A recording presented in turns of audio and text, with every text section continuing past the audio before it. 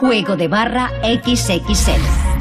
Que sí, que el pulgar es el dedo más útil para usar herramientas, escribir y sobre todo jugar a las chapas. Pero esta vez el pulgar tendrá que ser XXL si nuestro concursante quiere lanzar una a una las chapas del borde de la mesa hasta el vaso y colar no una, sino tres chapas.